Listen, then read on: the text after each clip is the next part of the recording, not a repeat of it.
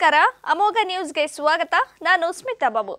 ಸರ್ಕಾರವು ಒಕ್ಕಲಿಗರ ಅಭಿವೃದ್ಧಿ ನಿಗಮ ಸ್ಥಾಪಿಸಿ ಸಾವಿರ ಕೋಟಿ ರೂಪಾಯಿ ಮೀಸಲಿಡಬೇಕೆಂದು ಒಕ್ಕಲಿಗ ಸಮುದಾಯದ ಸ್ವಾಮೀಜಿಗಳು, ಜನಾಂಗದ ಮುಖಂಡರುಗಳು ಒಕ್ಕೊರಲಿನಿಂದ ಆಗ್ರಹಿಸಿದ್ದಾರೆ. ಒಕ್ಕಲಿಗರ ಅಭಿವೃದ್ಧಿ ನಿಗಮವನ್ನು ಸ್ಥಾಪಿಸಿ ಕೂಡಲೇ ಸಾವಿರ ಕೋಟಿ ರೂಪಾಯಿಗಳನ್ನು ಮೀಸಲಿಡಬೇಕೆಂದು ಒಕ್ಕಲಿಗ ಸಮುದಾಯದ ಸ್ವಾಮೀಜಿಗಳು ಮತ್ತು ಸಮುದಾಯದ ಮುಖಂಡರುಗಳು ಒಕ್ಕೊರಲಿನಿಂದ ಒತ್ತಾಯಿಸಿದ್ದಾರೆ. ತುಮಕೂರಿನ ಜಿಲ್ಲಾ ಒಕ್ಕಲಿಗರ ಸಂಘದ ವತಿಯಿಂದ ಹಮ್ಮಿಕೊಳ್ಳಲಾಗಿದ್ದ ಕಾರ್ಯಕ್ರಮದಲ್ಲಿ ಒಕ್ಕಲಿಗ ಸಮುದಾಯದ ಸ್ವಾಮೀಜಿಗಳಾದ ನಂಜಾಪದೂತ ಸ್ವಾಮಿಗಳು ಮಂಗಳನಾಥ ಸ್ವಾಮಿಗಳು, ಹಾಲಿ ಹಾಗೂ ಮಾಜಿ ಶಾಸಕರುಗಳು, ಜಿಲ್ಲೆಯ ಎಲ್ಲಾ ತಾಲೂಕಿನ ಒಕ್ಕಲಿಗ ಸಂಘದ ಅಧ್ಯಕ್ಷರು, ಪದಾಧಿಕಾರಿಗಳು ಹಾಗೂ ಜಿಲ್ಲಾ ಸಂಘದ ಪದಾಧಿಕಾರಿಗಳು ಸರ್ಕಾರವು ಕೂಡಲೇ ನಿಗಮ ಸ್ಥಾಪನೆಗೆ ಆಗ್ರಹಿಸಿದರು. ಇದೇ ಸಂದರ್ಭದಲ್ಲಿ ಜಿಲ್ಲಾ ಒಕ್ಕಲಿಗರ ಸಂಘದ ಅಧ್ಯಕ್ಷ ಕೆಬಿ ಬೋರೇಗೌಡ ಮಾತನಾಡಿ, ರಾಜ್ಯದಲ್ಲಿ ಒಕ್ಕಲಿಗರ ಸಮುದಾಯ ಅತಿ ಹೆಚ್ಚು ಜನ ಸಂಖ್ಯೆಯಲ್ಲಿದ್ದು ಸಮಾಜವು ಕೃಷಿಯನ್ನೇ ನಂಬಿ ಬದುಕುತ್ತಿದೆ ಎಂದರು. ಒಕ್ಕಲಿಗ ಸಮುದಾಯ ಕೃಷಿಯನ್ನೇ ಅವಲಂಬಿಸಿ ಶೈಕ್ಷಣಿಕ ಹಾಗೂ ಆರ್ಥಿಕ ಹಿಂದುಳಿದಿದ್ದು, ಆದ್ದರಿಂದ ಈ ಸಮುದಾಯಕ್ಕೆ ಸರ್ಕಾರವು ಜನಸಂಖ್ಯೆಗೆ ಅನುಗುಣವಾಗಿ ಮೀಸಲಾತಿ ಹೆಚ್ಚಿಸಿ ಅಭಿವೃದ್ಧಿ ನಿಗಮ ಸ್ಥಾಪಿಸಬೇಕೆಂದು ಒತ್ತಾಯಿಸಿದ್ದಾರೆ.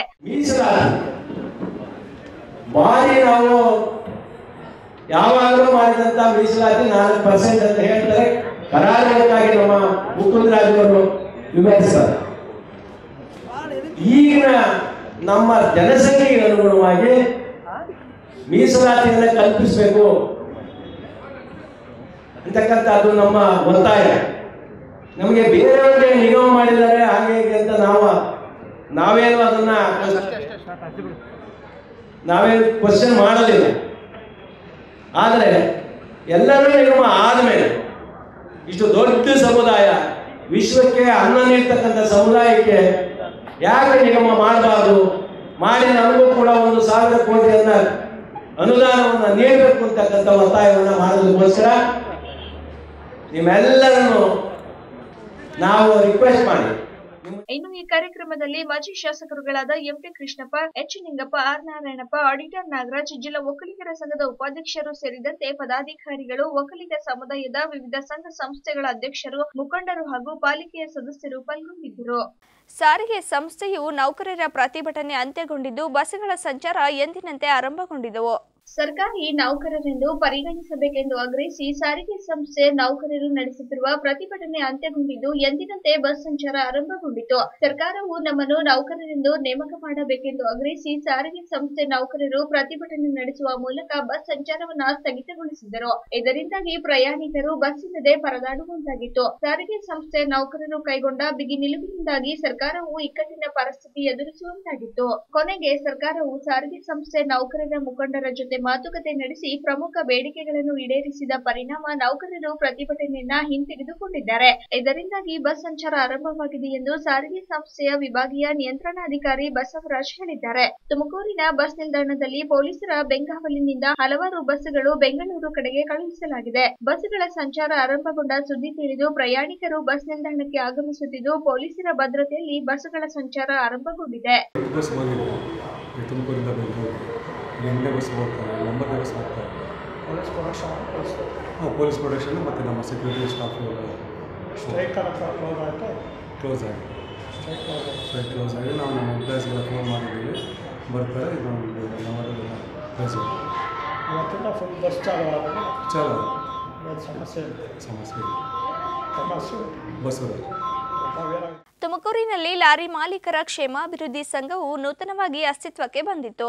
ತುಮಕೂರು ನಗರದ ಹೌಸಿಂಗ್ ಬೋರ್ಡ್ನಲ್ಲಿ ನೂತನವಾಗಿ ಲಾರಿ ಮಾಲೀಕರ ಕ್ಷೇಮಾಭಿವೃದ್ಧಿ ಸಂಘ ಅಸ್ತಿತ್ವಕ್ಕೆ ಬಂದಿದ್ದು, ಸುಮಾರು ಇನ್ನೂರು ಸದಸ್ಯರನ್ನೊಳಗೊಂಡ ಪದಾಧಿಕಾರಿಗಳು, ಅಧ್ಯಕ್ಷರು, ಕಾರ್ಯದರ್ಶಿ ಹೀಗೆ ಹಲವು ಕಾರ್ಯಕಾರಿ ಸಮಿತಿ ಒಳಗೊಂಡಿದೆ ಎಂದು ಸಂಘದ ಅಧ್ಯಕ್ಷರು ಮುಜಾಮಿಲ್ಲಾ ಪಾಷರ್ ಅವರು ತಿಳಿಸಿದರು. ನಗರದ ಹೌಸಿಂಗ್ ಬೋರ್ಡ್ ಅಲ್ಲಿ ಸರಳ ಕಾರ್ಯಕ್ರಮ ಆಯೋಜನೆ ಮಾಡಿ ಸಂಘವನ್ನ ಅಸ್ತಿತ್ವಕ್ಕೆ ತಂದಿರುವುದಾಗಿ ಸಂಘದ ಅಧ್ಯಕ್ಷರು ತಿಳಿಸಿದ್ದಾರೆ. ಇನ್ನು ಕಾರ್ಯಕ್ರಮಕ್ಕೆ ತುಮಕೂರು ಮಹಾನಗರ ಪಾಲಿಕೆಯ ಫರೀದಾ ಬೇಗಂ ರವರು ಭೇಟಿ ನೀಡಿ ಸಂಘದ ಸದಸ್ಯರಿಗೆ ಶುಭ ಕೋರಿ ಸರ್ಕಾರದಿಂದ ಸಿಗುವ ಎಲ್ಲ ಸವಲತ್ತುಗಳನ್ನ ಸಂಘದ ಸದಸ್ಯರಿಗೆ ದೊರಕಿಸಿಕೊಡುವಲ್ಲಿ ನಾನು ಸದಾ ಸಿದ್ಧ ಎಂದು ತಿಳಿಸಿದರು. ಸಂಘದ ಸದಸ್ಯರು ಸಮಸ್ಯೆ ಬಂದರೆ ಅದಕ್ಕೆ ನಾನು ಸ್ಪಂದಿಸಲು ಸಿದ್ಧ ಎಂದು ತಿಳಿಸಿದರು. ಸಂಘ ಏನಿದೆ? ಇದರದ್ದು ಲಾರಿಗಳ ಮಾಲೀಕರದ್ದು ಸಂಘ ತುಂಬಾ ಪ್ರಾಬ್ಲಮ್ಸ್ ಫೇಸ್ ಮಾಡ್ತಾ ಇದ್ದಾರೆ. ಮುಂಬರುವ ದಿನಗಳಲ್ಲಿ ಏನು ಪ್ರಾಬ್ಲಮ್ಸ್ ಇದೆ ಅಂತ ಡಿಸ್ಕಸ್ ಮಾಡಿ, ಅದು ಮೇ ಬಿ ಲಾ ಪ್ರಾಬ್ಲಮ್ಸ್ ಇರ್ಬೋದು ಫ್ರಮ್ ಲೈಕ್ ಗೌರ್ಮೆಂಟಿಂದ ಪ್ರಾಬ್ಲಮ್ಸ್ ಇರ್ಬೋದು. ಕೆಲವ್ರಿಗೆ ಅದು ಎಕ್ಸಾಕ್ಟ್ಲಿ ಅರ್ಥ ಆಗಲ್ಲ. ಅಥವಾ ಅವೇರ್ನೆಸ್ ಪ್ರೋಗ್ರಾಮ್ ಒಂದು ನಮ್ಮ ಒಂದು ಇದು ನಿಟ್ಟಿನಲ್ಲಿ ಹಮ್ಮಿಕೊಂಡು ಅವ್ರಿಗೆ ಅವನ್ನ ಅವೇರ್ನೆಸ್ ಕೊಟ್ಟು ಯಾವ ಥರ ಒಂದು ಮಾಲೀಕರು ಒಂದು ಲಾರಿಯನ್ನು ಯೂಸ್ ಮಾಡಿದಾಗ ಏನೇನು ಅವ್ರಿಗೆ ಪ್ರಾಬ್ಲಮ್ಸ್ ಆಗಿಬರುತ್ತೆ, ಅವರು ನಮ್ಮ ಹತ್ರ ಪ್ರಾಬ್ಲಮ್ ಶೇರ್ ಮಾಡಿದಾಗ ನಮ್ಮ ವತಿಯಿಂದ ಅದೇನು ನಿಮ್ಗೆ ಅವ್ರ ಸಾಧ್ಯತೆ ಇದೆ ಅದನ್ನು ನಾವು ಹೆಲ್ಪ್ ಮಾಡೋಕ್ಕೆ ನಾವು ಮುಂದೆ ಬರುವ ದಿನಗಳಲ್ಲಿ ಪ್ರಯತ್ನ ಮಾಡಿ, ಅವ್ರಿಗೂ ಒಂದು ನಿಟ್ಟಿನಲ್ಲಿ ದಾರಿ ಕಾಣಿಸಿ. ಯಾಕಂದರೆ ಒಂದು ಪೆಂಡೆಮಿಕ್ ರೋಗದಲ್ಲಿ ಏನು ನಡೀತಾ ಇದೆ ಒಂದು ಪೆಂಡೆಮಿಕ್ ಸಿಚುವೇಷನಲ್ಲಿ ಎಲ್ಲ ಆರ್ಥಿಕ ಸ್ಥಿತಿ ಎಲ್ಲ ಹಿಂದೆ ಹೋಗಿದ್ದೀವಿ. ಹಾಗಾಗಿ ಈ ಸಂಘಗಳಿಗೆ ನಮ್ಮ ಸಪೋರ್ಟ್ ಕೊಟ್ಟು ಸ್ಪೆಷಲಿ ನಾನು ಮೇಯರ್ ಆಫ್ ತುಮಕೂರು ನಗರ ಮೇಯರ್ ಆಗಿ ನಾನು ಒಂದು ಆಶ್ವಾಸನ ಇವತ್ತು ಕೊಡಕ್ಕೆ ಬಂದಿದ್ದೀನಿ ಇವತ್ತು. ಇನ್ನು ಕಾಂಗ್ರೆಸ್ ಮುಖಂಡರಾದ ಇಕ್ಬಾಲ್ ರವರು ಮಾತನಾಡಿ, ಇತ್ತೀಚಿನ ಕೊರೋನಾ ಕಷ್ಟಕಾಲದಲ್ಲಿ ಲಾರಿ ಮಾಲೀಕರು ಹಾಗೂ ಲಾರಿ ಸಹಾಯಕರು ಅನೇಕ ಸಮಸ್ಯೆಗಳನ್ನು ಅನುಭವಿಸುತ್ತಿದ್ದಾರೆ. ಆರ್ಥಿಕವಾಗಿ ಹಿಂದುಳಿದಿರುವ ಕಾರ್ಮಿಕರ ಏಳಿಗೆಗಾಗಿ ಲಾರಿ ಮಾಲೀಕರ ಸಂಘ ಅಸ್ತಿತ್ವಕ್ಕೆ ಬಂದಿರುವುದು ಅವರ ಹೇಳಿಕೆಗೆ ಒಂದು ಮೈಲಿಗಲ್ಲಾಗಿ ನಿಲ್ಲಲಿದೆ ಎಂದು ತಿಳಿಸಿದ್ದಾರೆ. ಸಂಘದ ಅಧ್ಯಕ್ಷರು ಮಾತನಾಡಿ, ತುಮಕೂರು ನಗರದಲ್ಲಿ ಇನ್ನೂರು ಸದಸ್ಯರನ್ನೊಳಗೊಂಡ ಸ್ಥಾಪಿತವಾಗಿರುವ ತುಮಕೂರು ಜಿಲ್ಲಾ ಲಾರಿ ಮಾಲೀಕರ ಸಂಘ ಅಸ್ತಿತ್ವಕ್ಕೆ ಬಂದಿದ್ದು, ಮಾಲೀಕರು ಹಾಗೂ ಕಾರ್ಮಿಕರಿಗೆ ಸರ್ಕಾರದಿಂದ ಸಿಗುವ ಎಲ್ಲ ಸವಲತ್ತುಗಳನ್ನ ಸಿಗುವಂತೆ ಮಾಡುವುದು ನಮ್ಮ ಸಂಘದ ಧ್ಯೇಯೋದ್ದೇಶವಾಗಿದೆ ಎಂದರು. ಕೊರೋನಾ ಬಂದಾಗಿನಿಂದಲೂ ಲಾರಿ ಮಾಲೀಕರು ನಷ್ಟ ಅನುಭವಿಸುತ್ತಿದ್ದಾರೆ. ಲೋಡಿಂಗ್, ಅನ್ಲೋಡಿಂಗ್, ಪಾರ್ಕಿಂಗ್ ಅಧಿಕಾರಿಗಳ ಕಿರುಕುಳ, ಹೀಗೆ ಹಲವು ಸಮಸ್ಯೆಗಳಿಗೆ ಲಾರಿ ಮಾಲೀಕರು ಹಾಗೂ ಕಾರ್ಮಿಕರು ಅನುಭವಿಸುತ್ತಿದ್ದು, ಇವುಗಳಿಗೆ ನಾವು ಹಾಗೂ ನಮ್ಮ ಸಂಘದ ಸದಸ್ಯರು ಸ್ಪಂದಿಸುವುದು ಸರ್ಕಾರದಿಂದ ಸಿಗುವ ಸೌಲಭ್ಯಗಳಿಂದ ಸಂಘವನ್ನ ಸ್ಥಾಪಿಸಲಾಗಿದೆ ಎಂದು ತಿಳಿಸಿದರು. ತುಮಕೂರು ಜಿಲ್ಲೆಯಲ್ಲಿ ಬಹಳಷ್ಟು ಲಾರಿಯು ಇದ್ದು ಹಾಗೂ ಅದು ಒಂದು ಸಂಘದ ಒಂದು ಕಮಿಟಿ ಮಾಡಿ ನಾವು ಏನು ತುಮಕೂರು ಜಿಲ್ಲಾ ಲಾರಿ ಮಾಲೀಕರ ಕ್ಷೇಮ ಅಭಿವೃದ್ಧಿ ಸಂಘ ಅಂತ ಒಂದು ಮಾಡಿ ಇನ್ನೂರಕ್ಕಿಂತ ಹೆಚ್ಚು ಮೆಂಬರ್ಸ್ಗಳೆಲ್ಲ ಜಾಯ್ನ್ ಆಗಿದ್ದಾರೆ. ನಮ್ಮ ಉದ್ದೇಶ ನಮಗೆ ತುಮಕೂರಿನಲ್ಲಿ ಆಗುತ್ತಿರುವ ಒಂದು ಲೋಡಿಂಗ್ ಸಮಸ್ಯೆ ಹಾಲ್ಟಿಂಗ್ ಸಮಸ್ಯೆ ಡೀಸೆಲ್ ಸಮಸ್ಯೆ, ಈ ಆರ್ ಟಿ ಒ ಸಮಸ್ಯೆ ಪೊಲೀಸ್ ಸಮಸ್ಯೆ, ಈ ಟೋಲ್ ಸಮಸ್ಯೆ ಏನಿದೆ ಅದ್ರ ಬಗ್ಗೆ ವಿಚಾರ ಮಾಡಿ. ಲೋಡಿಂಗ್ ಅನ್ಲೋಡಿಂಗ್ ಸಮಸ್ಯೆ ಏನಿದೆ ಪಾರ್ಕಿಂಗ್ ಸಮಸ್ಯೆ ಇದೆ ಆರ್ ಟಿ ಒ ಸಮಸ್ಯೆ ತುಂಬ ಇದೆ ಪೊಲೀಸು ಸಮಸ್ಯೆ ಇದೆ, ನಮ್ಮ ಗಾಡಿಗಳಿಗೆ ನಿಂತ್ಕೊಳ್ಳೋಕ್ಕೆ ಜಾಗ ಇಲ್ಲ. ತುಂಬ ತುಮಕೂರು ಬೇರೆ ಸ್ಮಾರ್ಟ್ ಸಿಟಿ ಆಗ್ತಿದೆ. ಇಂಥ ಪರಿಸ್ಥಿತಿನಲ್ಲಿ ನಾವು ಸರ್ಕಾರಕ್ಕೂ ಈ ಬಗ್ಗೆ ಒಂದು ಲೆಟರ್ ಮುಖಾಂತರ ಸಂಘದಿಂದ ಒಂದು ಕೊಡ್ತಾ ಇದೀವಿ ಏನಂದ್ರೆ ಇನ್ನು ಈ ಕಾರ್ಯಕ್ರಮದಲ್ಲಿ ಸಂಘದ ಉಪಾಧ್ಯಕ್ಷರಾದ ಪರ್ವೇಶ್ ಶಕೀಲ್ ಸಾದಿಕ್ ಪಾಷಾ ಸೇರಿದಂತೆ ಸಂಘದ ಸದಸ್ಯರು ಭಾಗವಹಿಸಿದ್ದರು. ನೆಲಮಂಗಲ ಬಳಿಯಲ್ಲಿರುವ ಬಂಡೆ ಮಠದಲ್ಲಿ ಮಹಾಲಿಂಗೇಶ್ವರ ಸ್ವಾಮಿಯ ಬ್ರಹ್ಮರಥೋತ್ಸವ ನಡೆಯಿತು. ಕಡೆ ಕಾರ್ತಿಕ ಸೋಮವಾರ ಮತ್ತು ನಿನ್ನೆ ಹಲವಾರು ಧಾರ್ಮಿಕ ಕಾರ್ಯಕ್ರಮಗಳು ಜರುಗುವುದು ಕಾಮನ್ ಆದರೆ ಇಲ್ಲಿ ಅಪಾರ ಬಂಧುಗಳ ಸಮ್ಮುಖದಲ್ಲಿ ದೀಪೋತ್ಸವ ಹಾಗೂ ಬ್ರಹ್ಮರಥೋತ್ಸವ ಅನ್ನ ಸಂತರ್ಪಣೆ ನಡೆಯಿತು. ಎಲ್ಲಿ ಏನಿದು ಅಂತೀರಾ ಈ ಸ್ಟೋರಿ ನೋಡಿ. ಒಂದೆಡೆ ದೀಪಗಳ ಸಾಲು ಇಡೀ ಮಠದ ಆವರಣದಲ್ಲಿ ವಿದ್ಯುತ್ ದೀಪಾಲಂಕಾರದ ರಂಗು. ತುಮಕೂರಿನ ಸಿದ್ಧಗಂಗಾ ಶ್ರೀಗಳ ದಿವ್ಯ ಸಾನ್ನಿಧ್ಯ. ಹೌದು, ಈ ಎಲ್ಲ ದೃಶ್ಯ ಕಂಡು ಬಂದಿದ್ದು ರಾಮನಗರ ಜಿಲ್ಲೆಯ ಗುಡಿಮಾರನಹಳ್ಳಿ ಸಮೀಪದ ಕಂಚುಗಲ್ಲ ಬಂಡೆಮಠದಲ್ಲಿ. ಹೌದು, ನಿನ್ನೆ ರಾತ್ರಿ ದೀಪೋತ್ಸವ ಇಂದು ಶ್ರೀ ಮಹಾಲಿಂಗೇಶ್ವರ ಸ್ವಾಮಿಯ ಬ್ರಹ್ಮರಥೋತ್ಸವವನ್ನ ಸಡಗರ ಸಂಭ್ರಮದಿಂದ ಕೊರೋನಾ ಮುನ್ನೆಚ್ಚರಿಕೆಯಿಂದ ಆಚರಿಸಲಾಗಿತ್ತು. ವಿಶೇಷ ಅಂದ್ರೆ ಈ ಮಹಾಲಿಂಗೇಶ್ವರ ಬೆಟ್ಟದಲ್ಲಿ ನೆಲೆಸಿದ್ದು ಬೆಟ್ಟದ ತುತ್ತ ತುದಿಯಲ್ಲಿ ರಥ ಎಳೆಯುವ ಪದ್ಧತಿಯನ್ನ ನಡೆಸಲಾಗುತ್ತದೆ. ನೂರಾರು ವರ್ಷದ ಇತಿಹಾಸವಿರುವ ಪುರಾತನ ದೇವಾಲಯ ಇದಾಗಿದೆ. ಅಪಾರ ಭಕ್ತರು ದೀಪವನ್ನು ಹಚ್ಚಿ ಕಾರ್ಯಕ್ರಮದಲ್ಲಿ ಭಾಗವಹಿಸಿ ಶಿವನ ಸ್ಮರಣೆ ಮಾಡಿದ್ದರು. ಇನ್ನು ಸಮೃದ್ಧಿಯ ಸಂಕೇತವಾದ ಬಾಳೆಯನ್ನು ಕತ್ತರಿಸುವ ಮೂಲಕ ಬನ್ನಿಯನ್ನು ಹಂಚಿದರು ಇನ್ನು ಲೋಕ ಕಲ್ಯಾಣಕ್ಕಾಗಿ ಹೋಮ ಹವನಗಳ ಮೂಲಕ ರಥೋತ್ಸವಕ್ಕೆ ಹಲವಾರು ಹರಗುರು ಚರಮೂರ್ತಿಗಳು ಸೇರಿ ಚಾಲನೆ ನೀಡಿದ್ದರು. ಜನಪದ ಕಲಾ ತಂಡಗಳಾದ ವೀರಗಾಸೆ ನಂದಿ ಧ್ವಜ, ಸೋಮನ ಕುಣಿತ ಸೇರಿದಂತೆ ಇನ್ನಿತರ ಕಲಾ ಪ್ರಕಾರಗಳು ತಮ್ಮ ಪ್ರದರ್ಶನವನ್ನ ನೀಡಿದ್ದವು. ಇನ್ನು ಮಠಕ್ಕೆ ಬರುವ ಎಲ್ಲ ಭಕ್ತಾದಿಗಳಿಗೆ ಪ್ರಸಾದದ ವ್ಯವಸ್ಥೆ ಕೂಡ ಮಾಡಿದ್ದರು. ನಂತರ ಸಿದ್ಧಗಂಗಾ ಮಠದ ಅಧ್ಯಕ್ಷರಾದ ಶ್ರೀ ಶ್ರೀ ಸಿದ್ಧಲಿಂಗ ಸ್ವಾಮೀಜಿ ಮಾತನಾಡಿ, ಗ್ರಾಮಾಂತರ ಪ್ರದೇಶಗಳಲ್ಲಿ ಗ್ರಾಮ ಪಂಚಾಯತ್ ಚುನಾವಣೆ ಕಾವು ಇರುತ್ತಿದೆ. ಚುನಾವಣೆಗಳಲ್ಲಿ ವೈಷಮ್ಯ ಬೇಡ. ಚುನಾವಣೆ ಯಾವುದೇ ಪಕ್ಷಕ್ಕೆ ಸೀಮಿತವಾಗಿರದೆ ವ್ಯಕ್ತಿಗತವಾಗಿರಬೇಕೆಂದು ಮತದಾರರಿಗೆ ತಿಳಿ ಹೇಳಿದರು ಈ ಸಮಯದಲ್ಲಿ ಗ್ರಾಮ ಪಂಚಾಯತ್ ಚುನಾವಣೆ ಬಗ್ಗೆ ಮಾತನಾಡಿ ಮತದಾರರಿಗೆ ಮಾರ್ಗದರ್ಶನ ಮಾಡಿದ್ದರು. ಗ್ರಾಮ ಪಂಚಾಯತಿ ಚುನಾವಣೆಯಿಂದ ಗ್ರಾಮಗಳಲ್ಲಿ ವೈಷಮ್ಯದ ವಾತಾವರಣ ಉಂಟಾಗುತ್ತಿದೆ. ಗ್ರಾಮ ಪಂಚಾಯತಿ ಚುನಾವಣೆಗಳು ನಮ್ಮ ಪ್ರತಿನಿಧಿಗಳ ಆಯ್ಕೆ ಮಾಡುವ ದೊಡ್ಡ ಜವಾಬ್ದಾರಿ. ಈ ಜವಾಬ್ದಾರಿಯನ್ನು ನಾವು ಬಹಳ ಎಚ್ಚರಿಕೆಯಿಂದ ಬಳಸಬೇಕು ಎಂದರು. ಪೂಜೆ, ದಾಸೋಹಕ್ಕೆ ಮಾತ್ರ ಸೀಮಿತಗೊಳಿಸಿ ಬಹಳ ವಿಶೇಷವಾದಂಥ ರೀತಿಯಲ್ಲಿ ಕಾರ್ಯಕ್ರಮವನ್ನು ಆಯೋಜಿಸ್ಕೊಂಡು ಬರ್ತಾ ಇದ್ದಾರೆ. ಕಾರ್ತಿಕ ಮಾಸದಲ್ಲಿ ನಮ್ಮ ಭಾರತೀಯ ಪರಂಪರೆಯಲ್ಲಿ ದೀಪವನ್ನು ಬೆಳಗಿ ಎಲ್ಲ ಕಡೆ ಒಂದು ಜ್ಞಾನವನ್ನು, ದೀಪವನ್ನು ಬೆಳಗುವಂತಹ ಒಂದು ಪವಿತ್ರವಾದ ಕಾರ್ಯವನ್ನು ಮಾಡ್ಕೊಂಡು ಬರ್ತಾ ಇದ್ದೇವೆ. ದೀಪ ಒಂದು ತ್ಯಾಗದ ಸಂಕೇತವಾಗ್ತದೆ. ಅದರಿಂದ ಈ ಒಂದು ಕಾರ್ತಿಕ ಮಾಸದಲ್ಲಿ ದೀಪಾರಾಧನೆಯನ್ನು ಮಾಡುವಂಥದ್ದು ಬೆಳಕೆ, ದೇವರು ಅಂತ ಭಾವಿಸ್ಕೊಂಡು ಅದನ್ನು ಆರಾಧಿಸುವಂಥ ಮನೋಭಾವ.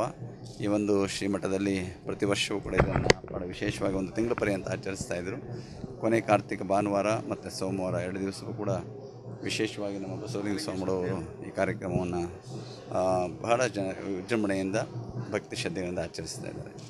ಇನ್ನು ಇದೇ ಸಮಯದಲ್ಲಿ ದೀಪೋತ್ಸವ ಬಗ್ಗೆ ಮಾತನಾಡಿದ ಬಂಡೆ ಮಠದ ಚರಮೂರ್ತಿ ಬಸವಲಿಂಗ ಶ್ರೀಗಳು, ಗ್ರಾಮಗಳಲ್ಲಿ ಧಾರ್ಮಿಕ ಕಾರ್ಯಗಳಿಂದ ಮಾತ್ರ ಒಗ್ಗಟ್ಟು ಸಾಧ್ಯ. ಉತ್ಸವ ಮತ್ತು ಹಬ್ಬಗಳು ಎಲ್ಲದನ್ನು ಒಂದು ಮಾಡುತ್ತದೆ ಶತ್ರುಗಳನ್ನ ಪ್ರೀತಿಸುವುದೇ ಹಬ್ಬದ ವೈಶಿಷ್ಟ್ಯ. ನಮ್ಮೊಳಗಿನ ಮನಸ್ಸು ಮತ್ತು ಭಾವನೆ ಶುದ್ಧ ಮಾಡುವುದೇ ದೀಪೋತ್ಸವ. ಹಬ್ಬವನ್ನ ಆಚರಣೆ ಮಾಡುವುದೇ ಎಲ್ಲರನ್ನ ಪ್ರೀತಿಸಲು. ಈ ದೀಪ ಹಚ್ಚಿ ಭಕ್ತಿ ಭಾವ ಬೆಳೆದಾಗ ಕೋವಿಡ್ ದೂರವಾಗಲಿದೆ ಎಂದು ಪ್ರಾರ್ಥಿಸೋಣ ಎಂದು ಜನರಿಗೆ ತಿಳಿ ಹೇಳಿದರು. ನಮ್ಮ ಮಠದಲ್ಲಿ ಕಾರ್ತಿಕ ದೀಪೋತ್ಸವ ಹಾಗೂ ಮಾಲಿಂಗೇಶ್ವರ ರಥೋತ್ಸವನ ಏನು ನಡೆಸ್ಕೊಂಡ್ಬರ್ತಾ ಇದ್ದೀವಿ ಈ ವರ್ಷನೂ ಕೂಡ ಮಾಡಬೇಕು ಅಂತ ಅಪೇಕ್ಷೆಯನ್ನು ಮಾಡಿ ಭಾಳ ಅದ್ದೂರಿಯಾಗಿ ವಿಶೇಷವಾಗಿ ಮಾಡ್ತಾಯಿದ್ವಿ ಧಾರ್ಮಿಕ ಸಭೆ, ಏನು ನಮ್ಮ ಧರ್ಮದ ಸಂಪ್ರದಾಯ ಅರ್ಚನೆ ಅರ್ಪಣೆ, ಅನುಭವ ಅನ್ನುವಂಥದ್ದು. ಒಂದು ಭಗವಂತನ ಪೂಜೆ ಸಲ್ಲಿಸುವಂಥದ್ದು, ಇನ್ನೊಂದು ಅರ್ಪಣೆ, ಪ್ರಸಾದ ಅದನ್ನು ಸ್ವೀಕಾರ ಮಾಡೋದು, ಇನ್ನೊಂದು ಅನುಭವದ ನುಡಿಗಳು. ಈ ಮೂರು ಭಾಳ ಒಂದಕ್ಕೊಂದು ಮನುಷ್ಯನಿಗೆ ಅಗತ್ಯವಾಗಿ ಬೇಕಾದಂಥದ್ದು. ಈ ಸಾರಿ ಅರ್ಚನೆ ಅರ್ಪಣೆ ಇದೆ. ಮತ್ತು ಅನುಭವದ ಒಂದು ಕಾರ್ಯಕ್ರಮನ ಈ ಸಾರಿ ರದ್ದು ಮಾಡಿದೆ. ಯಾಕೆಂದರೆ ಕೋವಿಡ್ ಇರೋದ್ರಿಂದ ಜನಗಳು ಒಂದು ಕಡೆ ಒಟ್ಟಾಗಿ ಸೇರುವಂಥದ್ದೇನಿದೆ ಅದು ಜನಗಳು ತೊಂದರೆ ಆಗಬಾರ್ದು ಅನ್ನೋ ಹಿನ್ನೆಲೆ ಒಳಗೆ ಈ ಸಾರಿ ಅದನ್ನು ರದ್ದು ಮಾಡಿ. ಏನು ಪ್ರತಿ ವರ್ಷದಂತೆ ಧಾರ್ಮಿಕ ಕಾರ್ಯಕ್ರಮಗಳಾಗಬೇಕು ಅದಕ್ಕೆ ಮಾತ್ರ ಅಷ್ಟೇ ನಾವು ಅವಕಾಶವನ್ನು ಕೊಟ್ಟು ಬಂದಂಥ ಗ್ರಾಮೀಣ ಪ್ರದೇಶದ ಜನರು ಮತ್ತು ಎಲ್ಲ ಭಕ್ತಾದಿಗಳು ಒಟ್ಟಾರೆ ಕಡೆ ಕಾರ್ತಿಕ ಸೋಮವಾರ ಹಲವಾರು ಧಾರ್ಮಿಕ ಮಹೋತ್ಸವ ಶ್ರೀ ಕ್ಷೇತ್ರದಲ್ಲಿ ಸಂಪನ್ನವಾಗಿತ್ತು ಈ ವೇಳೆಯಲ್ಲಿ ಹಲವಾರು ಮಠಾಧೀಶರು ಬಿಎಂಟಿಸಿ ನಿರ್ದೇಶಕ ಬೃಂಗೇಶ್ ಹಲವಾರು ಭಕ್ತರು ವಿವಿಧ ಜಿಲ್ಲೆಗಳಿಂದ ಆಗಮಿಸಿದ್ದರು. ತಗಿಕುಪ್ಪೆ ಶ್ರೀಧರ್ ಅಮೋಘ ನ್ಯೂಸ್ ಮಾಗಡಿ. ಕೋಲಾರದಲ್ಲಿ ಸಂಸದ ಎಸ್ ಮುನಿಸ್ವಾಮಿರವರು ಗೋಮಾತೆ ಪೂಜೆ ನೆರವೇರಿಸಿದರು. ರಾಜ್ಯ ಸರ್ಕಾರ ಚುನಾವಣೆ ವೇಳೆಯಲ್ಲಿ ಜನತೆಗೆ ಮಾತು ಕೊಟ್ಟಂತೆ ಗೋಹತ್ಯೆ ನಿಷೇಧದ ವಿಧೇಯಕವನ್ನ ವಿರೋಧ ಪಕ್ಷಗಳ ವಿರೋಧದ ನಡುವೆಯೂ ಅಂಗೀಕಾರ ಮಾಡಿದ್ದು ರಾಜ್ಯದ ಜನತೆ ಈ ವಿಧೇಯಕವನ್ನ ಹೃತ್ಪೂರ್ವಕವಾಗಿ ಸ್ವಾಗತಿಸಿದ್ದಾರೆ. ಈ ನಿಟ್ಟಿನಲ್ಲಿ ತಾವು ಹರ್ಷವನ್ನ ವ್ಯಕ್ತಪಡಿಸಿದ್ದಾರೆ. ಕೇಂದ್ರ ಮತ್ತು ರಾಜ್ಯ ಸರ್ಕಾರಗಳು ಕೊಟ್ಟ ಮಾತಿಗೆ ತಪ್ಪದ ರೀತಿ ಜನತೆಯ ಆಶೋತ್ತರಗಳನ್ನ ಈಡೇರಿಸಲು ಸದಾ ಸಿದ್ಧ ಎಂದು ಸಂಸದ ಎಸ್ ಮುನಿಸ್ವಾಮಿ ಅಭಿಪ್ರಾಯವನ್ನ ವ್ಯಕ್ತಪಡಿಸಿದರು. ಅವರು ನಗರದ ಕೀಲುಕೋಟೆಯಲ್ಲಿನ ಅಶ್ವಿನಿ ನರ್ಸಿಂಗ್ ಹೋಮ್ ಎದುರು ಗೋಮಾತೆ ಪೂಜೆಯನ್ನ ನೆರವೇರಿಸಿ ಮಾತನಾಡಿದ ಅವರು, ಚುನಾವಣೆ ವೇಳೆ ಬಿಜೆಪಿ ಪಕ್ಷ ತನ್ನ ಪ್ರಣಾಳಿಕೆಯಲ್ಲಿ ಘೋಷಣೆ ನುಡಿದಂತೆ ನಡೆದುಕೊಂಡಿದೆ ಎಂದು ಬಿಜೆಪಿ ಪಕ್ಷಕ್ಕೆ ಬೇಷೆಂದರು ಏನು ಸನ್ಮಾನ್ಯ ಮುಖ್ಯಮಂತ್ರಿಗಳಾದಂಥ ಯಡಿಯೂರಪ್ಪ ಸಾಹೇಬರ ನೇತೃತ್ವದಲ್ಲಿ ಸರ್ಕಾರದಲ್ಲಿ ಏನು ಹಿಂದಿನಿಂದನೂ ನಮ್ಮ ಭಾರತೀಯ ಜನತಾ ಪಾರ್ಟಿ ಅಜೆಂಡ್ ಅಜೆಂಡಾ ಇತ್ತು ಗೋ ಹತ್ಯೆ ನಿಷೇಧ ಅಂತೇಳಿ ಹೇಳಿ ಅದಕ್ಕೆ ಮೊನ್ನೆ ನಾವು ಅಧಿವೇಶನದಲ್ಲಿ ಅಂಗೀಕಾರ. ಅಂಗೀಕಾರ ಆಗಿದೆ. ಅದಕ್ಕೋಸ್ಕರ ಏನೇ ಅವರು ವಿಧಾನ ಪರಿಷತ್ತಲ್ಲಿ ಏನೇ ಡ್ರಾಮಾ ಮಾಡಿದ್ರೂ ನಮ್ಮ ಸನ್ಮಾನ್ಯ ಯಡಿಯೂರಪ್ಪ ಸಾಹೇಬರು ಮತ್ತು ಆ ಮಂತ್ರಿ ಮಂಡಲ ಸುಗ್ರೀವಾಜ್ಞೆ ಮಾಡೋದ್ರ ಮುಖಾಂತರ ಅದನ್ನು ಗೋಹತ್ಯೆಯನ್ನು ನಿಷೇಧ ಮಾಡಿದ್ದಾರೆ. ಅದಕ್ಕೆ ನಮ್ಮ ಕೋಲಾರ ಜಿಲ್ಲೆಯ ಜನತೆ ಇಡೀ ಭಾರತ ದೇಶದ ಜನತೆ ನಮ್ಮ ಕರ್ನಾಟಕದ ಜನತೆ ಒಕ್ಕರ್ಲಿಂದ ಅದನ್ನು ಅಭಿನ ಅಭಿನಂದಿಸ್ತೀರಿ. ಇನ್ನು ಈ ಸಂದರ್ಭದಲ್ಲಿ ಕೆಯುಡಿಎ ಅಧ್ಯಕ್ಷ ಓಂ ಶಕ್ತಿ ಚಲಪತಿ ನಗರ ಬಿಜೆಪಿ ಅಧ್ಯಕ್ಷ ತಿಮ್ಮರಾಯಪ್ಪ ಜಿಲ್ಲಾ ಯುವ ಮೋರ್ಚಾಧ್ಯಕ್ಷ ಆರ್ ಬಾಲಾಜಿ ನಗರ ಬಿಜೆಪಿ ಯುವ ಮೋರ್ಚಾಧ್ಯಕ್ಷ ಭರತ್ ಮಹಿಳಾ ಮೋರ್ಚಾದ ಅರುಣಮ್ಮ ಇನ್ನು ಹಲವಾರು ಮುಖಂಡರು ಉಪಸ್ಥಿತರಿದ್ದರು. ಸರ್ಕಾರಿ ನೌಕರರನ್ನಾಗಿ ನೇಮಕ ಮಾಡಬೇಕೆಂದು ಆಗ್ರಹಿಸಿ ಸಾರಿಗೆ ನೌಕರರು ಪಾವಗಡದಲ್ಲಿ ಪ್ರತಿಭಟನೆ ನಡೆಸಿದರು. ಸಾರಿಗೆ ನೌಕರರನ್ನು ಸರ್ಕಾರಿ ನೌಕರರನ್ನಾಗಿ ನೇಮಕ ಮಾಡಬೇಕು ಎಂದು ಒತ್ತಾಯಿಸಿ ಅಂಬೇಡ್ಕರ್ ವೃತ್ತದ ಬಳಿ ಪಾವಗಡ ಸಾರಿಗೆ ನೌಕರರ ಒಕ್ಕೂಟದ ಪ್ರತಿಭಟನೆ ನಡೆಯಿತು. ನಾವುಗಳು ಹಲವು ವರ್ಷಗಳಿಂದ ಸೌಲಭ್ಯಗಳಿಲ್ಲದೆ ವಂಚಿತರಾಗಿದ್ದೇವೆ. ಹಗಲು ರಾತ್ರಿ ಎನ್ನದೆ ಕುಟುಂಬದವರನ್ನ ತೊರೆದು ಕರ್ತವ್ಯ ನಿರ್ವಹಿಸುತ್ತೇವೆ. ಆದರೆ ಸರ್ಕಾರ ಮಾತ್ರ ನಮ್ಮ ಶ್ರಮಕ್ಕೆ ತಕ್ಕ ಪ್ರತಿಫಲ ನೀಡುತ್ತಿಲ್ಲ. ಕೇವಲ ಸಂಬಳಕ್ಕಷ್ಟೇ ಸೀಮಿತಗೊಳಿಸಿದೆ. ಸರ್ಕಾರಿ ನೌಕರರಿಗಿರುವ ಕನಿಷ್ಠ ಸೌಲಭ್ಯಗಳು ನಮಗೆ ಸಿಗುತ್ತಿಲ್ಲ. ಆದ್ದರಿಂದ ಸರ್ಕಾರ ಈ ಕೂಡಲೇ ಸಾರಿಗೆ ನೌಕರರನ್ನು ಸರ್ಕಾರಿ ನೌಕರರೆಂದು ಪರಿಗಣಿಸಿ ಆದೇಶ ಹೊರಡಿಸಬೇಕು ಎಂದು ಆಕ್ರೋಶವನ್ನ ವ್ಯಕ್ತಪಡಿಸಿದ್ದರು. ಇನ್ನು ಈ ಪ್ರತಿಭಟನೆಯಲ್ಲಿ ಪಾವಗಡ ಸಾರಿಗೆ ಇಲಾಖೆಯ ಎಲ್ಲ ನೌಕರರು ಪಾಲ್ಗೊಂಡಿದ್ದರು. ಶ್ರೀನಿವಾಸಪುರದಲ್ಲಿ ಸಾರಿಗೆ ನೌಕರರು ಶಾಂತಿಯುತವಾಗಿ ಪ್ರತಿಭಟನೆ ನಡೆಸಿ ಉಪವಾಸ ಸತ್ಯಾಗ್ರಹ ಕೈಗೊಂಡಿದ್ದರು. ಶ್ರೀನಿವಾಸಪುರದಲ್ಲಿ ಸಾರಿಗೆ ನೌಕರರನ್ನ ಸರ್ಕಾರಿ ನೌಕರರನ್ನಾಗಿ ಪರಿಗಣಿಸಬೇಕೆಂದು ಒತ್ತಾಯಿಸಿ ಕರ್ನಾಟಕ ರಾಜ್ಯಾದ್ಯಂತ ಪ್ರತಿಭಟನೆ ಹಮ್ಮಿಕೊಂಡಿತ್ತು. ಈ ಸಂದರ್ಭದಲ್ಲಿ ಮಾತನಾಡಿದ ಸಾರಿಗೆ ನೌಕರರು ನಮ್ಮ ವೇತನವನ್ನ ಹೆಚ್ಚಿಸಬೇಕು ಹಾಗೂ ಸಾರಿಗೆ ನೌಕರರನ್ನು ಸರ್ಕಾರಿ ನೌಕರರನ್ನಾಗಿ ಪರಿಗಣಿಸಬೇಕು. ಇಲ್ಲದಿದ್ದ ಪಕ್ಷದಲ್ಲಿ ಮುಂದಿನ ದಿನಗಳಲ್ಲಿ ಇನ್ನು ಹಲವು ಹೋರಾಟಗಳನ್ನ ಮಾಡುವುದಾಗಿ ತಿಳಿಸಿದರು. ಹಾಗೂ ಕಟ್ಟಡ ಕಾರ್ಮಿಕರ ಸಂಘದಿಂದ ಇವರಿಗೆ ಬೆಂಬಲವನ್ನ ಸೂಚಿಸಲಾಯಿತು. ಬೇಡಿಕೆ, ಕರ್ನಾಟಕ ರಾಜ್ಯ ರಸ್ತೆ ಸಾರಿಗೆ ಸಂಸ್ಥೆ ಎಲ್ಲ ನೌಕರರನ್ನು ರಾಜ್ಯ ಸರ್ಕಾರಿ ನೌಕರರನ್ನಾಗಿ ಮಾಡಬೇಕಾಗಿ ವಿನಂತಿ. ಅದನ್ನು ಕಳೆದ ಎರಡು ಮೂರು ವರ್ಷದಿಂದ ನಾವು ಸತತವಾಗಿ ಮಠ ಮಾನ್ಯಗಳಿಂದ ಹಿಡಿದು ಒಂದು M L A, M P ಎಲ್ಲ ಇವ್ರಿಗೂ ಕೊಟ್ಟಿದ್ದೀವಿ. ಅದೇ ವಿಧವಾಗಿ ಮೊನ್ನೆ ಹತ್ತನೇ ತಾರೀಕು ವಿಧಾನಸೌಧದಲ್ಲಿ ಹೋಗಿ ಜಾಥಾ ಮಾಡಿ ಒಂದು ಮನವಿ ಪತ್ರ ಸಲ್ಲಿಸೋಣ ಅನ್ನೋ ಮಟ್ಟದಲ್ಲಿ ಸಂಜೆ ಐದಾರು ಗಂಟೆಯಲ್ಲಿ ನಮ್ಮನ್ನೆಲ್ಲ ಬಂಧನ ಮಾಡಿ ಈ ಥರ ಸರ್ಕಾರ ನಮ್ಮ ದೌರ್ಜನ್ಯ ನಡೆದಿದ್ದಕ್ಕೋಸ್ಕರ ಈಗ ಅದನ್ನು ಬಂದ್ ಮುಖಾಂತರ ಮತ್ತು ಸತ್ಯಾಗ್ರಹ ಮುಖಾಂತರ ನಮ್ಮ ಸರ್ಕಾರಕ್ಕೆ ಶಾಂತಿಯುತವಾಗಿ ಮನವರಿಕೆ ಮಾಡಿಕೊಡ್ಬೇಕಾಗಿ ಈ ಪರಿಸ್ಥಿತಿಯಲ್ಲಿ ನಾವು ನಿಂತಿದ್ದೀವಿ. ಸಂದರ್ಭದಲ್ಲಿ ಎಲ್ಲ ಸಾರಿಗೆ ನೌಕರರು ಹಾಗೂ ಕಟ್ಟಡ ಕಾರ್ಮಿಕರು ಉಪಸ್ಥಿತರಿದ್ದರು. ಹರ್ಷವರ್ಧನ್, ಅಮೋಘ ನ್ಯೂಸ್, ಶ್ರೀನಿವಾಸ್ಪುರ. ಚಿಕ್ಕಬಳ್ಳಾಪುರದಲ್ಲಿ ಚಾಮರಾಜನಗರ ಬಡಾವಣೆಯಲ್ಲಿ ಮೂಲಭೂತ ಸೌಕರ್ಯಗಳ ಕುರಿತು ಅರಿವು ಮೂಡಿಸಲಾಯಿತು. ಚಿಕ್ಕಬಳ್ಳಾಪುರ ನಗರದ ಚಾಮರಾಜನಗರದಲ್ಲಿ ಮೂಲಭೂತ ಸೌಕರ್ಯಗಳ ಕುರಿತು ಅರಿವು ಮೂಡಿಸಲಾಯಿತು. ನಗರದ ಹೃದಯ ಭಾಗದಲ್ಲಿರುವ ಚಾಮರಾಜನಗರದಲ್ಲಿ ಅಭಿವೃದ್ಧಿ ಮರೀಚಿಕೆಯಾಗಿದ್ದು, ವಾರ್ಡಿನಲ್ಲಿ ಮೂಲಭೂತ ಸೌಲಭ್ಯಗಳ ಕೊರತೆ ಇದೆ ಎಂದು ವಾರ್ಡಿನ ನಿವಾಸಿಗಳು ದೂರಿದ್ದರು. ನಗರಸಭಾ ಸದಸ್ಯ ಕಣಿತಹಳ್ಳಿ ವೆಂಕಟೇಶ್ ನೇತೃತ್ವದಲ್ಲಿ ವಾರ್ಡಿನ ನಿವಾಸಿಗಳೆಲ್ಲ ಸೇರಿ ಕುಂದುಕೊರತೆ ಸಭೆ ನಡೆಸಿದ್ದರು. ಸಭೆಯಲ್ಲಿ ಕುಡಿಯುವ ನೀರು, ಬೀದಿ ದೀಪಗಳ ಸಮಸ್ಯೆ, ಕಸದ ವಿಲೇವಾರಿ ಸೇರಿದಂತೆ ಅನೇಕ ವಿಷಯಗಳ ಬಗ್ಗೆ ಚರ್ಚೆ ನಡೆಸಲಾಯಿತು. ನಗರಸಭಾ ಸದಸ್ಯ ವೆಂಕಟೇಶ್ ಅವರಿಗೆ ವಾರ್ಡಿನ ಜನರು ವಾರ್ಡಿನ ಸಮಸ್ಯೆಗಳನ್ನ ಬಗೆಹರಿಸುವಂತೆ ಮನವಿ ಮಾಡಿದ್ದರು. ನಂತರ ಮಾಧ್ಯಮಗಳೊಂದಿಗೆ ಮಾತನಾಡಿದ ಕಡಿತಹಳ್ಳಿ ವೆಂಕಟೇಶ್, ಚಾಮರಾಜನಗರದ ಕಾಲೋನಿಯಲ್ಲಿ ಅಭಿವೃದ್ಧಿ ತೀರಾ ಕುಂಠಿತಗೊಂಡಿದ್ದು, ಇಂದು ವಾರ್ಡ್ ನಿವಾಸಿಗಳ ಜೊತೆಗೂಡಿ ಸಭೆ ನಡೆಸಲಾಗಿತ್ತು. ಸರ್ಕಾರದಿಂದ ಸಿಗಬೇಕಾದ ಸೌಲಭ್ಯಗಳು ಹಾಗೂ ನಗರಸಭೆ ವತಿಯಿಂದ ವಾರ್ಡು ಅಭಿವೃದ್ಧಿ ಸೇರಿದಂತೆ ಅನೇಕ ಸಮಸ್ಯೆಗಳ ಬಗ್ಗೆ ಚರ್ಚೆ ನಡೆಸಲಾಯಿತು ಎಂದರು. ಉದ್ದೇಶ ಚಾಮರಾಜಪೇಟೆ ಕಾಲೋನಿಯಲ್ಲಿ ಮೂಲಭೂತ ಸೌಕರ್ಯಗಳಿಂದ ವಂಚಿತರಾಗಿದ್ದಾರೆ. ಆ ಮೂಲಭೂತ ಸೌಕರ್ಯಗಳು ಒದಗಿಸಲಿಕ್ಕೆ ನಮ್ಮ ಈ ಕಾಲೋನಿಯ ಎಲ್ಲ ಯುವ ಮಿತ್ರರು ಕೂಡ ಒಗ್ಗಟ್ಟಾಗಿ ಹೋರಾಟ ಮಾಡಿ ಸೌಲಭ್ಯಗಳನ್ನು ಪಡೀಲಿಕ್ಕೆ ಎಲ್ಲರೂ ಕೂಡ ಹುಮ್ಮಸ್ಸಿನಿಂದ ಇವತ್ತು ಸಭೆ ಸೇರಿ ಮಾತಾಡಿದ್ದೀವಿ. ಇನ್ನು ಮುಂದಿನ ದಿನಗಳಲ್ಲಿ ಇದೇ ಯುವ ಪಡೆ ಏನಿದೆಯೋ ಮುಂದುವರಿಸ್ಕೊಂಡು ಹೋಗಿ ಮೂಲಭೂತ ಸೌಕರ್ಯಗಳನ್ನು ಪಡೀಲಿಕ್ಕೆ ಎಲ್ಲ ರೀತಿಯಲ್ಲೂ ಕೂಡ ಸರ್ಕಾರದ ಸವಲತ್ತುಗಳನ್ನು ತಗೊಳ್ಳಿಕ್ಕೆ ಮತ್ತು ಸರ್ಕಾರದಿಂದ ಯಾವ್ಯಾವ ಯೋಜನೆಗಳು ಯೋಜನೆಗಳು ಈ ನಗರ ಇದು ನಗರಸಭೆಯಿಂದ ಇರ್ಬೋದು ಕೆಲವು ಇಲಾಖೆಗಳಿಂದ ಬರ್ತಕ್ಕಂಥ ಸೌಲಭ್ಯಗಳನ್ನು ತಗೊಳ್ಳೋದಕ್ಕೆ ಒಂದು ಸಮಿತಿಯನ್ನು ಮಾಡಿಕೊಂಡು ಮುಂದಾಳತ್ವ ವಹಿಸಿಕೊಂಡು ಆ ಯೋಜನೆಗಳನ್ನು ಪಡೀಲಿಕ್ಕೆ ಎಲ್ಲರೂ ಕೂಡ ಒಗ್ಗಟ್ಟಾಗಿ ಇಲ್ಲಿ ಸಭೆ ಸೇರಿ. ಸಭೆಯಲ್ಲಿ ವಾರ್ಡಿನ ಮುಖಂಡರು ಹಾಗೂ ಯುವಕರು ಸೇರಿದಂತೆ ನಿವಾಸಿಗಳು ಹಾಜರಿದ್ದರು.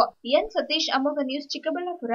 ಕೋಲಾರದಲ್ಲಿ ಕರ್ನಾಟಕ ಜನಾಭಿವೃದ್ಧಿ ರಕ್ಷಣಾ ವೇದಿಕೆ ವತಿಯಿಂದ ಅನಾಥಾಶ್ರಮ ಮಕ್ಕಳಿಗೆ ಆಹಾರ ಸಾಮಗ್ರಿಗಳು ಬೆಡ್ಶೀಟ್ಗಳು ವಿತರಿಸಲಾಯಿತು. ನಗರದ ಕಾರಂಜಿ ಕಟ್ಟೆ ಹನ್ನೊಂದನೇ ಕ್ರಾಸ್ನಲ್ಲಿರುವ ಶ್ರೀ ನಲ್ಲೂರಮ್ಮ ದೇವಿ ಅನಾಥಾಶ್ರಮ ಮಕ್ಕಳಿಗೆ ಕರ್ನಾಟಕ ಜನಾಭಿವೃದ್ಧಿ ರಕ್ಷಣೆಯ ವೇದಿಕೆಯ ವತಿಯಿಂದ ಆಹಾರ ಸಾಮಗ್ರಿಗಳು, ಉಡುಗೆಗಳು ಮತ್ತು ಬೆಡ್ಶೀಟ್ ಗಳನ್ನ ವಿತರಣೆ ಮಾಡುವ ಕಾರ್ಯಕ್ರಮವನ್ನ ಹಮ್ಮಿಕೊಳ್ಳಲಾಗಿತ್ತು. ಈ ವೇಳೆ ಮಾತನಾಡಿದ ಕರ್ನಾಟಕ ಜನಾಭಿವೃದ್ಧಿ ರಕ್ಷಣಾ ವೇದಿಕೆಯ ಜಿಲ್ಲಾಧ್ಯಕ್ಷ ಕೆಎಂ ಮಂಜುನಾಥ್ ರವರು, ನಮ್ಮ ರಾಜ್ಯಾಧ್ಯಕ್ಷ ಬಾಬುರೆಡ್ಡಿ ಸೂಚನೆಯಂತೆ ರಾಜ್ಯದ ಎಲ್ಲಾ ಜಿಲ್ಲೆಗಳಲ್ಲಿರುವ ಅನಾಥಾಶ್ರಮದ ಮಕ್ಕಳಿಗೆ ಅಗತ್ಯ ವಸ್ತುಗಳನ್ನ ನೀಡುತ್ತಾ ಬರುತ್ತಿದ್ದೇವೆ ಎಂದು ತಿಳಿಸಿದರು. ಇನ್ನು ಸಂಘ ಸಂಸ್ಥೆಗಳು ಅನಾಥ ಮಕ್ಕಳ ಪೋಷಣೆಯಲ್ಲಿ ತೊಡಗಿರುವುದು ಶ್ಲಾಘನೀಯ. ಆದರೆ ಇಂತಹ ಹಲವು ಸಂಸ್ಥೆಗಳು ಆರ್ಥಿಕ ಸಂಕಷ್ಟ ಎದುರಿಸುತ್ತಿದ್ದು, ಹಣವಂತರು ಇಂತಹ ಸಂಸ್ಥೆಗಳಿಗೆ ನೆರವಾಗಬೇಕೆಂದು ಕೋರಿದರು. ಇನ್ನು ಈ ಸಂದರ್ಭದಲ್ಲಿ ರಾಜ್ಯ ಕಾರ್ಮಿಕ ಘಟಕದ ಅಧ್ಯಕ್ಷ ಆಂಜನೇಯ ರೆಡ್ಡಿ ಮಾತನಾಡಿ, ನಾನಾ ಕಾರಣಗಳಿಂದಾಗಿ ಚಿಕ್ಕಂದಿನಲ್ಲಿ ಹೆತ್ತವರನ್ನ ಕಳೆದುಕೊಂಡು ಅನಾಥರಾಗಿರುವ ಮಕ್ಕಳು ಶಿಕ್ಷಣ ರೀತಿಯ ಮೂಲಭೂತ ಹಕ್ಕುಗಳಿಂದ ವಂಚಿತರಾಗಿದ್ದಾರೆ. ಮಕ್ಕಳ ಹಕ್ಕುಗಳ ರಕ್ಷಣೆ ಮತ್ತು ಅವರ ಭವಿಷ್ಯ ರೂಪಿಸುವಲ್ಲಿ ಅನಾಥಾಲಯಗಳು ಪ್ರಮುಖ ಪಾತ್ರ ವಹಿಸುತ್ತಿದೆ ಎಂದು ಅಭಿಪ್ರಾಯಪಟ್ಟರು. ಇನ್ನು ಸಂದರ್ಭದಲ್ಲಿ ಕರ್ನಾಟಕ ಜನಾಭಿವೃದ್ಧಿ ರಕ್ಷಣಾ ವೇದಿಕೆಯ ಗೌರವಾಧ್ಯಕ್ಷ ಸೋಮಶೇಖರ್, ಉಪಾಧ್ಯಕ್ಷ ನಾಗರಾಜ್, ಉಸ್ತುವಾರಿ ಅಧ್ಯಕ್ಷ ಬಾಲಾಜಿ, ಯುವ ಘಟಕದ ಅಧ್ಯಕ್ಷ ಕಾಶಿ ವಿಶ್ವನಾಥ್, ಕಾರ್ಯದರ್ಶಿ ರಾಜೇಶ್ ರೆಡ್ಡಿ, ಪದಾಧಿಕಾರಿಗಳಾದ ನಾಗೇಶ್, ಬಾಲಕೃಷ್ಣ, ಲಕ್ಷ್ಮೀಕಾಂತ್, ನಾಗರಾಜ್, ಚಂದ್ರಶೇಖರ್, ರಮೇಶ್ ಮುಂತಾದವರು ಉಪಸ್ಥಿತರಿದ್ದರು. ಇಲ್ಲಿಗೆ ವಾರ್ತಾ ಪ್ರಸಾರ ಮುಕ್ತಾಯವಾಯಿತು. ನಮಸ್ಕಾರ.